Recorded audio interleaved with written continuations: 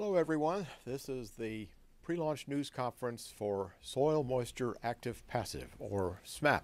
To be launched aboard a Delta II rocket on Thursday at 6:20 a.m. Pacific Time. And all of our launch uh, countdown activities are going to be discussed here today, including the flight of the Delta II and uh, what will be happening to the SMAP spacecraft as it leaves the Delta II rocket. So we'll start our briefing first of all with some opening remarks from Christine Bonniksen, the SMAP program executive from NASA headquarters.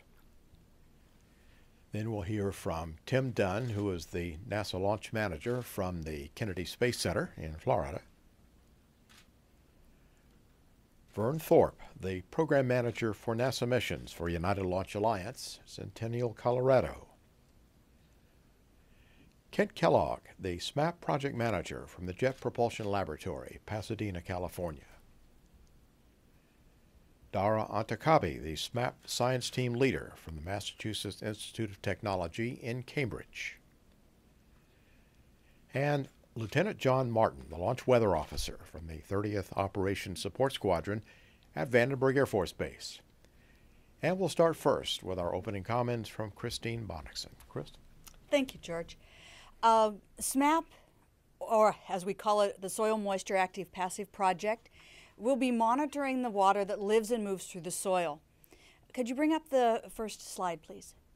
SMAP will be joining our 19 operational satellites, which, along with air and ground sensors, monitor the Earth's vital signs so that it, we can address issues like weather, climate change, um, fresh water, water hazards, and it's really kind of exciting that we're launching this in the UN Year of the Soil because we have a large number of international organizations that have volunteered to support the SMAP project from countries such as Kenya, Australia, Canada, and, and Argentina.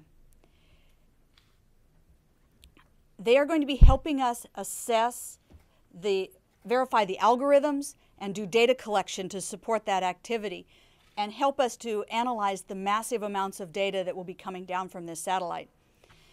Um, soil moisture is a key part of the three cycles that support life on this planet the water cycle, the energy cycle, and the carbon cycle. And these things affect human interests flood, drought, disease control, weather. Uh, if you would run the video, please. SMAP has two instruments on it an active instrument, which is the radar, which will be providing high resolution data, and a passive instrument, the radiometer, which provides us high accuracy data. These two instruments give us a picture similar to looking through both lenses of your bifocals at the same time. So we end up with a very high accurate global map of the soil moisture content this dual vision activity was one of the reasons why the measurements that we're getting on SMAP was ranked so highly by the National Academies of Science Earth Science 2007 Decadal Survey. And we're really excited that we're able to launch this mission within 10 years of receiving that recommendation. Global, this global soil moisture map will give us both the soil moisture and the freeze thaw state of all of the moisture in our soil every two to three days. NASA is currently very focused on, on this launch coming up and the knowledge we're going to get from that. If you would bring up the next slide, please. The SMAP launch completes a series of five launches that we've done in 11 months that started with the Global Precipitation Measurement launch in February out of Japan. And we're really looking forward to the synergism of all these instruments that we've lost and the amazing knowledge that we're going to gain as we start analyzing this data. Back to you, George. Thank you, Christine. And now to Tim Dunn, who will be the NASA launch manager for the countdown on Thursday. Tim from the Kennedy Space Center in Florida. Tim. Thank you, George. I'm proud to be here today representing the men and women of NASA's Launch Services Program.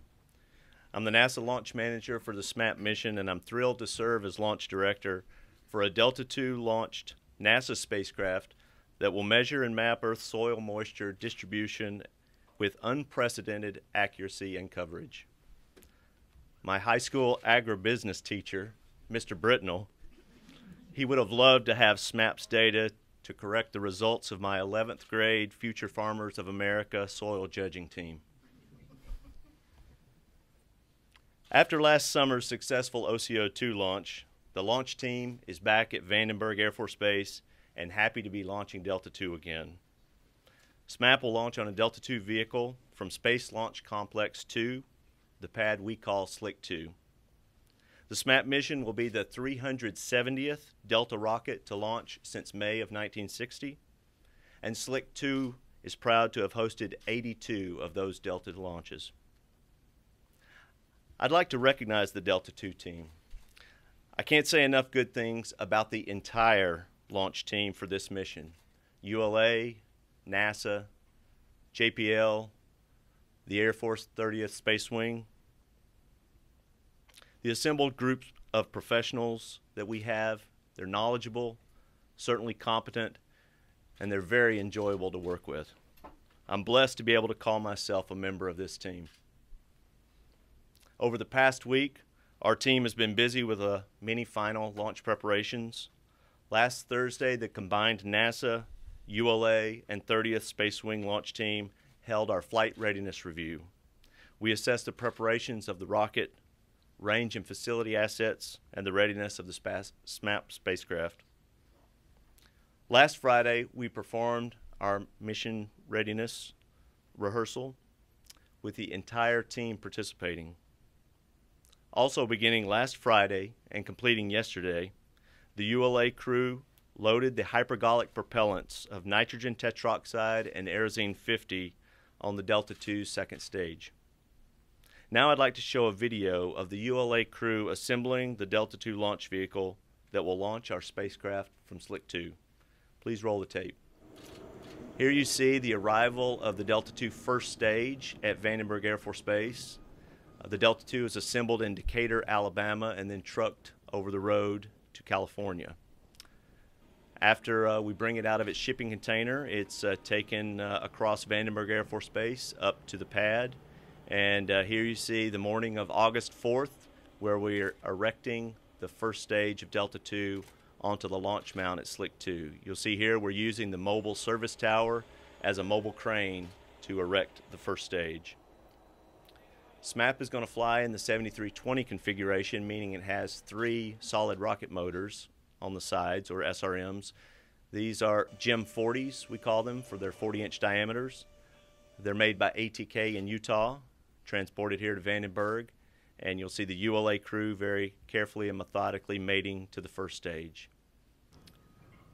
The spacecraft will be encapsulated in a payload fairing. Uh, we fly a bisector payload fairing, that means two halves, and we put that into the mobile service tower clean room prior to erection. This is the uh, second stage power plant for the Delta II rocket, and you'll see it is being erected there with the AJ-10 engine on the aft end. Uh, that will be mated to the top of the first stage and interstage assembly. Here we are, uh, fast forward to the morning of January 13th, raising the spacecraft in its protective transportation can, and there's the ULA crew unassembling that uh, can. And now you see the payload fairings, which were stored in the White Room, being very carefully uh, mated around the SMAP spacecraft. Here's a view of the uh, completely mated payload fairing inside the clean room at Slick 2.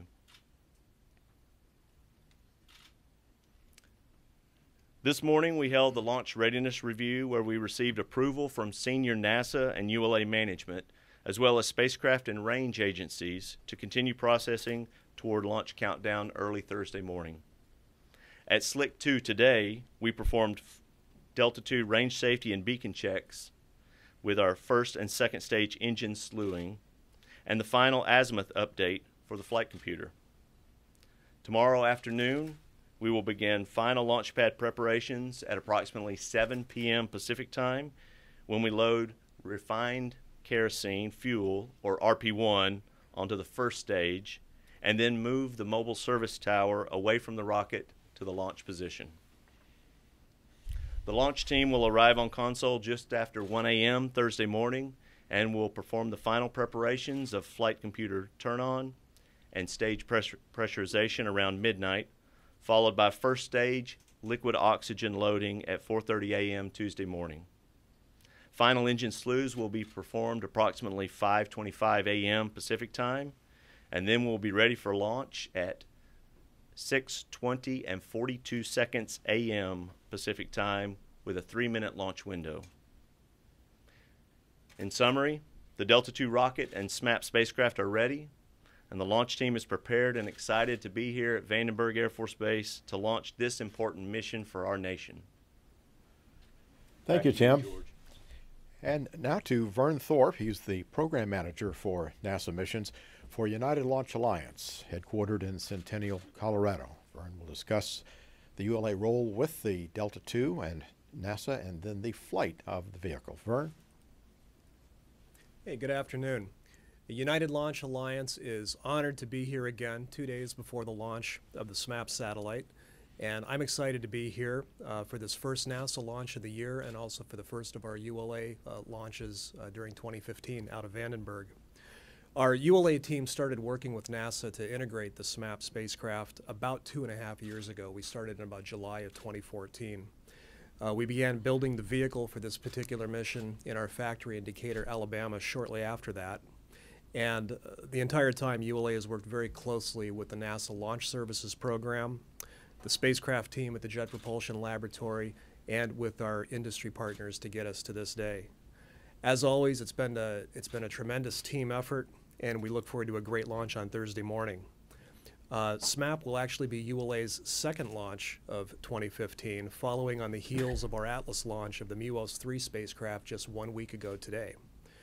Uh, SMAP will also be the 153rd Delta II mission, and it will be our 52nd Delta II mission for NASA. Uh, the SMAP mission will be launched aboard uh, the Delta II 7320 configuration. That includes a first stage booster powered by the Aerojet Rocketdyne RS-27A engine, and as Tim mentioned, we'll have the three uh, strap-on solid rocket boosters provided by Alliant Tech Systems, or ATK. The upper stage will be powered by the AJ-10 118K engine, and uh, the payload will be enclosed in that 10-foot diameter payload fairing that you saw. That's a composite payload fairing. We'll use that for the first few minutes of flight and jettison that once we're out of the atmosphere. Uh, now I'd like to show you a video of the launch sequence, and this will give you a preview of what we're going to see on Thursday morning. So here's the vehicle on the pad. we're going to lift off shortly after uh, 6.20 in the morning. Uh, the window opens 43 seconds after that for three minutes, as Tim said. And the first major event you'll see after liftoff for this mission will happen when we jettison the SRBs 99 seconds into flight. Those SRBs actually burn out about a minute into flight, but we hang on to them until the predicted splashdown uh, locations have cleared the, uh, the local offshore oil platforms. So you'll see the SRBs jettison here in a moment. Uh, once the SRBs have jettisoned, the first stage will continue to fly for a total of about 4 minutes and 20 seconds. And once we've used up the propellants in that first stage, we'll shut down the engine. And six seconds after that, we'll separate the upper stage. And eight seconds after that, we will light the engine on that upper stage for the first of several burns for this mission. Now, this first burn of the upper stage will last just a little bit more than six minutes. Shortly into that first stage burn, we'll jettison the payload fairing as you see here. And once we're done with that first burn, we'll be in a parking orbit. That parking orbit will last about 41 minutes. And then we'll do a short second burn followed by spacecraft separation, as you see right here. Uh, spacecraft separation will occur about 57 minutes after liftoff uh, for this mission. Now, when we're done with the primary mission, with separating the SMAP spacecraft, we're actually going to do a third engine burn. It'll be a very short burn, about eight seconds, to adjust the orbit slightly. And uh, following that, we will actually be separating four CubeSats. We have three P-POD dispensers on board that contain a total of four CubeSats. And then when we're done with the uh, CubeSat separations, we'll actually do a fourth engine burn. and that fourth engine burn will uh, burn all the propellants that are remaining in the second stage, and that will allow us to actually do a controlled reentry of the second stage. In about two hours and p- 10 minutes after launch, the uh, second stage will splash down in the southern Pacific Ocean, uh, several hundred miles east of New Zealand. So the men and women in ULA are proud to serve a critical role in delivering payloads to orbit for all of our government and commercial customers. It's our honor to launch this important Earth science mission to help scientists better understand Earth's overall water, energy, and carbon cycles. And ULA always maintains a relentless focus on successfully delivering critical capabilities like this to orbit, and we are very proud to be America's ride to space. So I'd like to say thank you again to all of our mission partners. The entire ULA team looks to, uh, forward to a great launch on Thursday morning. And with that, I'll turn it back to you, George. Thank you, Vern. And now to continue with that thread of events and also talk some about the SMAP spacecraft is Kent Kellogg, the SMAP project manager from the Jet Propulsion Laboratory in Pasadena, California. Kent?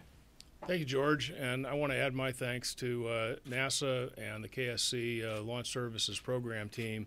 Uh, the SMAP project is absolutely thrilled to be catching a ride to space uh, on the Delta II vehicle, uh, vehicle with a very long uh, and, and well proven history. So we feel like we've been in very good hands and, and very well treated here at Vandenberg by the teams over the last few months.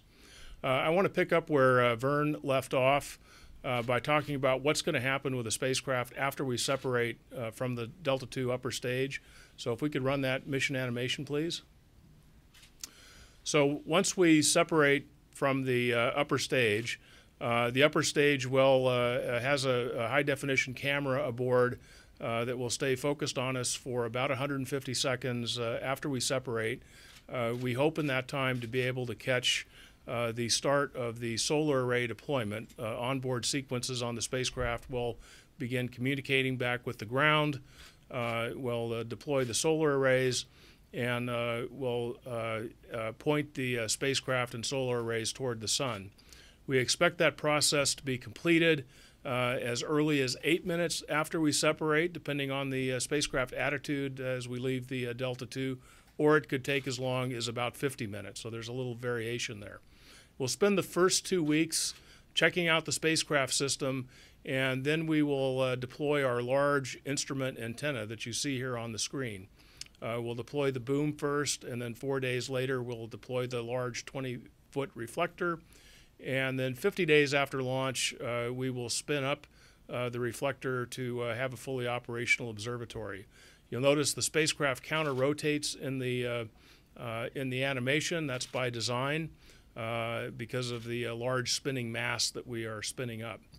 the antenna beam points off at an angle. It doesn't uh, point directly below the spacecraft, and that allows us to map a large swath, about a thousand kilometer wide swath uh, uh, uh below the spacecraft. That allows us to map the entire globe uh, in uh, less than three days. It's quite an efficient mapping system.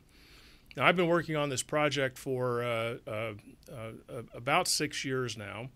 Uh, and uh, a lot of design and effort has gone into it. Certainly, some of the science folks uh, working on the project have uh, invested far more time in that, uh, 15 years and earlier, uh, and more in some cases. a lot of effort has gone into this. I want to share with you a little bit of the work. If we could roll the hardware flow video, we began assembling the uh, spacecraft uh, bus about a year and a half ago at JPL. Uh, you can see here the solar arrays being deployed. This is the radar panel uh, being uh, installed onto the spacecraft. Uh, there's a lot of testing that goes into this. This is a spin test of the radiometer and feed horn that was done before we installed it atop the spacecraft.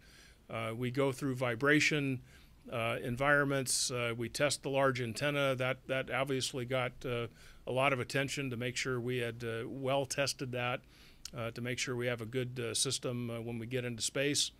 Uh, we uh, go through environmental testing to make sure that we're going to work uh, as intended as we after we go through the vibration of the, the launch environment and also in the vacuum environment and thermal environment in space. So here you see some scenes of the spacecraft uh, being put into our uh, large 25 foot space simulator uh, facility at JPL. And then last July, uh, we did a final spin test of the uh, spin platform uh, on the uh, observatory. And then in uh, October, we shipped the observatory to Vandenberg. So on October 15th, we loaded the observatory into a truck and then early uh, early that morning, uh, it arrived at uh, Vandenberg at the Astrotech payload processing facility, where we completed the last of the functional checkouts to make sure the observatory was operating properly after its transportation to Vandenberg. we fueled the spacecraft. Uh, went through the uh, final checks. Uh, everything went very smoothly. We had no no uh, uh, issues or problems during that time. And uh, then, as Tim described, we began the process of putting it inside its can to move out to Space Launch Complex 2. So we've invested a lot of time testing, testing the observatory. Um, uh, we feel we've got a very reliable design. We've got a very uh, uh, committed and passionate group of people uh, that have worked on the project over many years. Uh, we feel that uh, we've got a lot of confidence that this mission is going to provide uh, top quality uh, science data for many, many years in space. I want to acknowledge that our mission partner here, besides JPL, who had project management responsibility, developed the spacecraft or the radar instrument, we also had a lot of support from the NASA's Goddard Space Flight Assembly, that provided uh, the radiometer instrument, science support. Uh, both centers share in the science data processing that will uh, be performed uh, uh, uh, once we get the data flowing from space. so with that, I think we, we still are showing some video here. this is of the spacecraft being attached to its launch vehicle adapter uh, at Astrotech before it was uh, put inside the can. Uh, it was uh, moved to uh, Slick 2 uh, on January 13th, so we've had a very smooth operation getting it installed on the launch vehicle adapter you see here and getting it transported out to, out to Slick 2.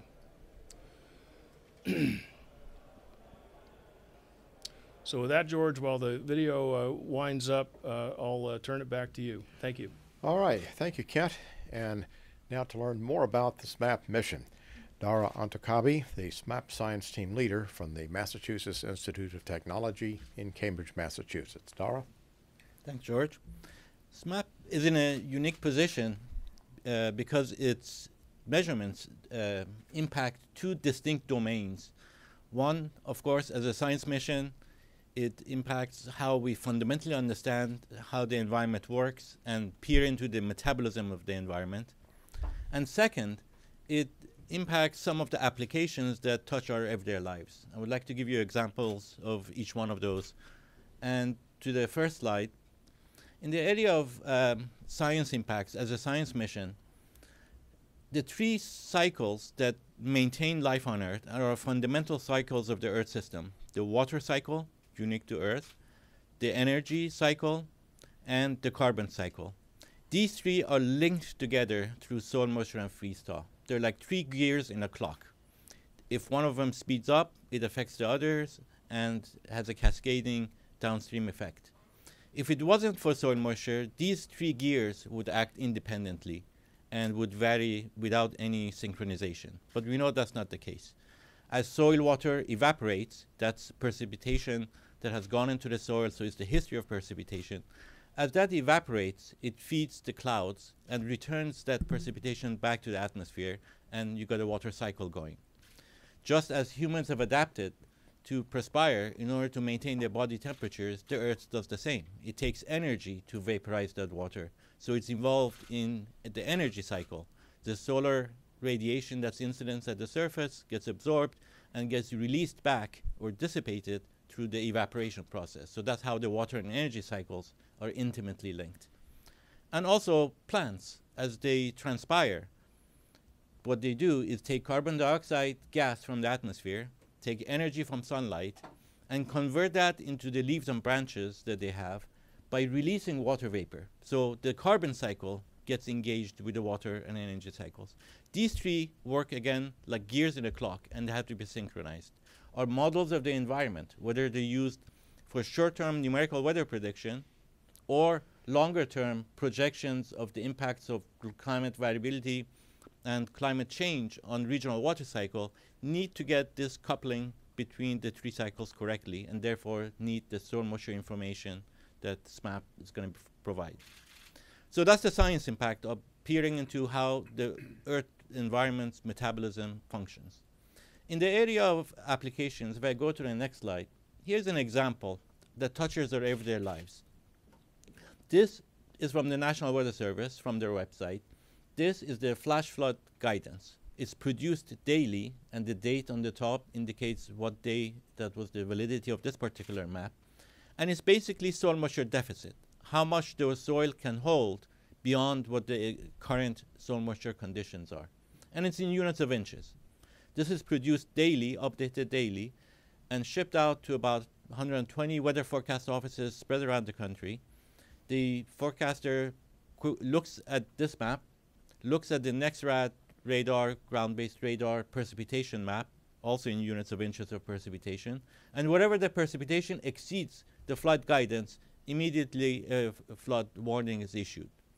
Now, this map of surface soil moisture or soil moisture deficit is not produced based upon ground-based uh, instruments that measure soil moisture around the country because there are far too few uh, uh, ground-based sensors to come close to producing such a map. So this is produced by models. Best guesses of what the soil moisture conditions should be any one day. Now, what SMAP will provide is exactly that measurement, but at higher resolution and directly and with great accuracy. So it's going to help improve this uh, daily operation that goes on. In a second example, and the final example, here's at the other extreme. This is a weekly map produced by a, a collaboration between U.S. Department of Agriculture, EPA, and so, NOAA, and some other agencies. And its uh, validity of this one is just uh, a few days ago. And this is an estimate of drought conditions. This drought uh, is agricultural drought is defined in terms of deficit in soil moisture. So the very definition of drought is a deficit in soil moisture. And you can see the big dry in California on this map. Again, what SMAP can provide is a direct measurement of this quantity at higher resolution and from space and globally. So with that, George? Thank you, Dara. And we'll look now at the weather forecast for Thursday morning from First Lieutenant John Martin, the launch weather officer for the countdown on Thursday from the 30th Operation Support Squadron at Vandenberg. Thank you, George. Weather along the central California coast in January typically consists of shallow high pressure with occasional low pressure systems that transition through the region. Currently, California is seeing some of this shallow high pressure building into the region with upper area, uh, upper level areas of low pressure skirting into over the high and causing increased cloud cover in the mid to upper levels. If we could uh, take a look at the satellite coverage here. You can see clear skies over most of the range with the lingering upper level low causing increased cloud cover along the northern portion of the western range. The upper level feature is tracking to the northeast and is not expected to be an impact for Thursday's launch. If we could move on to the launch forecast slide.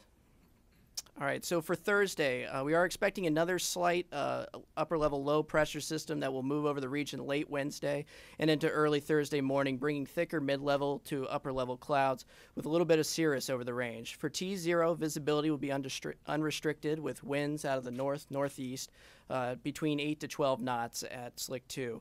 Temperatures will be comfortably in the low to mid 50s. The overall probability of violation for T0 is 20% with the only constraint of concern being for thick clouds. If we could shift to the scrub forecast slide. Uh, lingering moisture from that upper level low will move east of the range for Friday, uh, resulting in thinning clouds aloft, uh, and the thick cloud probability of violation dropping to 0% for the scrub day. Winds will shift to a northwesterly component and pick up to to around 15 to 18 knots at Slick 2, with visibility still remaining unrestricted, and temperatures will start to climb a little bit to the mid to upper 50s. Overall probability of violation for the scrub day will be 10%, with the only constraint of concern being the surface winds at Slick 2. And that is all for weather. Back to you, George. All right. Thank you very much, Lieutenant Martin. And we're ready now to take questions. For the uh, social media, you can use hashtag AskNASA, and uh, we will go uh, right now to some questions here in the room and, and take some social media questions. So we'll start here in the front, and please give your name and affiliation when you get the microphone. Justin?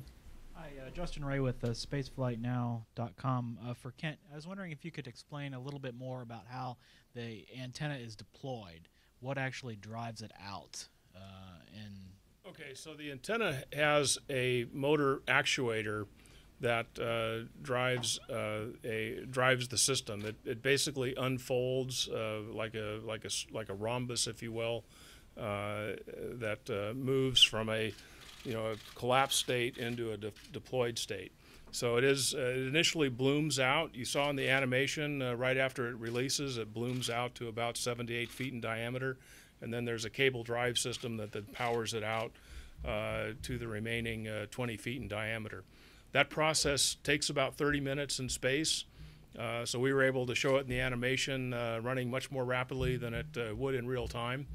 Uh, when we deploy it, we would have uh, full telemetry visibility via TDRS. Uh, we've designed that process very carefully so we can we can watch it.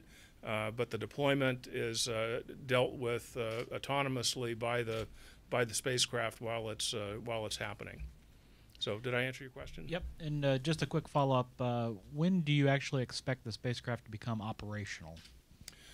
Uh, so operational uh, is uh, maybe that's a, a bit of ambiguous. Uh, uh, it can be an ambiguous term.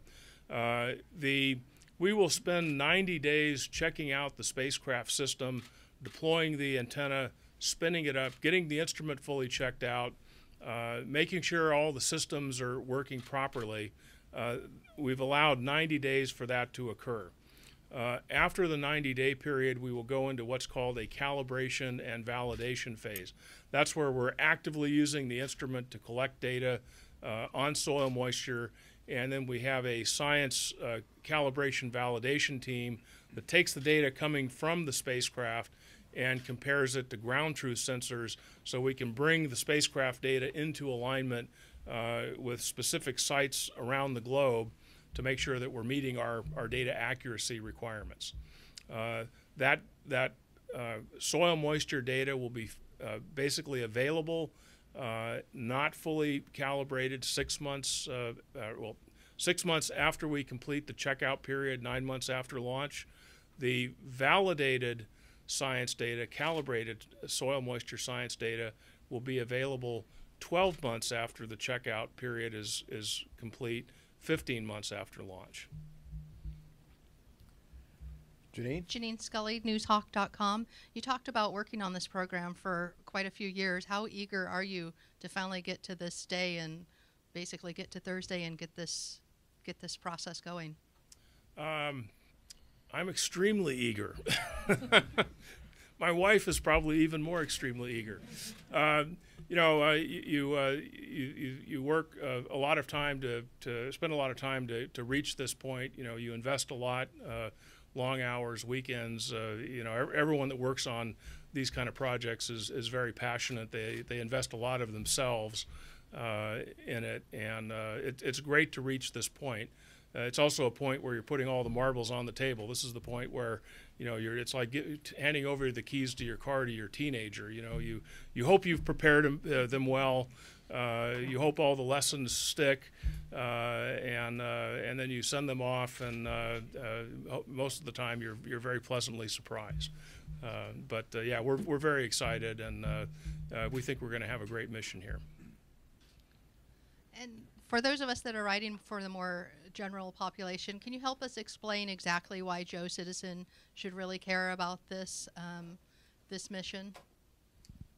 I think Dara, you're. Uh, why don't you answer that? Yeah. So uh, what the soil moisture measurements will do is improve our weather forecasts, improve our assessments of water availability, and also um, address some issues dealing with long-term climate variability and assessments of uh, the impact of um, uh, human intervention in the global environment. So all of these uh, come together and it's the metabolism of the system, how it responds. Just like a human body, if you perturb it by feeding it something, we want to know how it, um, the entire metabolism working together responds. And that's the water, energy, and carbon cycles. This is the variable that links all of them. So whether it's water availability, weather forecast, climate, seasonal climate forecast, agriculture, uh, early famine warning, all these applications uh, really depend on this key variable. All right, any other questions here in the room? We have one back here. If I may, thank you. Hi, Patrick Healy from NBC4 in Los Angeles. And Dr. Entekhabi, if I could follow up on that and ask you to be perhaps a little more granular. Uh, are we talking about, in the case of flood prevention, actually being able to go to a region and telling people you should leave this area because the probability of flooding is very high? And conversely, in California, where we're dealing with this drought, uh, are there specific decision making data that will become available and, and that could be utilized? Okay. So let me go back to the first one, the flood case. As you saw, that was a map of daily soil moisture put out by the National Weather Service. So if you have real data, to test that operational product and that application, you will impact the, the entire operation of flood forecasting uh, in the country. And also that applies internationally as well, which is important because it's a satellite measurement mission. In terms of drought, the very definition of drought, when you say this county is in drought condition, this one's not, is based upon what the soil moisture is.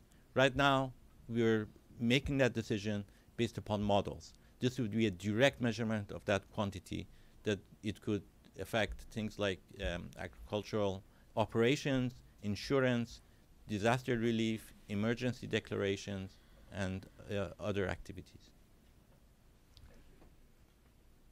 All right, I think uh, we're ready now to uh, take social media questions. And uh, if you do in social media have a question, you can use the uh, hashtag AskNASA to send your question to us. And uh, have we got questions that have come in already?